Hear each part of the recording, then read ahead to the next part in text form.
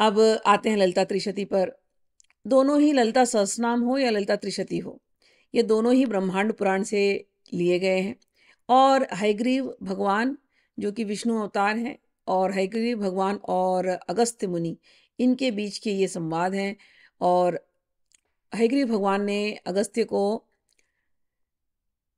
अगस्त्य महामुनि को ललिता सहस्त्र नाम दिया। लेकिन इस करने के बाद भी अगस्त महामुनि को एक सेटिस्फैक्शन एक संतोष जैसा प्राप्त नहीं हुआ। उन्होंने कहा कि, गुरुदेव, मुझे ऐसा लगता है कि कुछ और कमी है। शायद आप, आपने पूरी तरह से मुझे सब कुछ दिया नहीं है।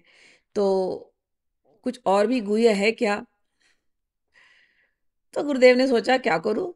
गुरुदेव ने फिर ध्यान किया हैगरी भगवान ने और ध्यान में उनके सामने साक्षात ललिता अंबिका, कामेश्वरी और भगवान कामेश्वर, ये दोनों प्रकट हुए और दोनों ने कहा कि तुम अगस्त मुनि को अब ये ललिता त्रिशती दो। ये गुह्याति गुह्य, ये सबसे गुह्य है। अब इसमें गुह्यतम बात क्या है?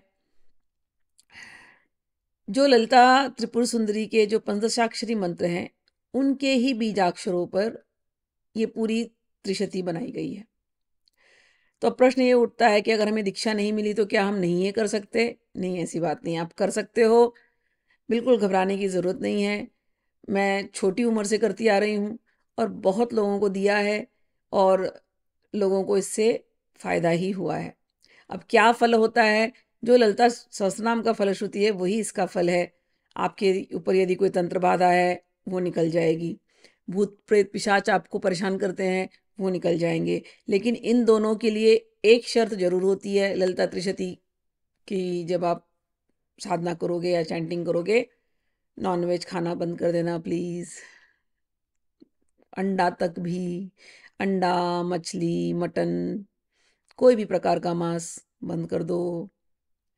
यदि आपके अंदर कोई शराब इत्यादि की आदत है, हर प्रकार का शराब, उसको आप बंद कर दो।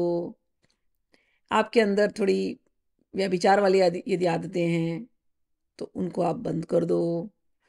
ये तीन नियम आप एकदम कड़काई से पालोगे तो तंत्र बाधा और भूत प्रेत की बाधा भी दूर हो जाती है, ललिता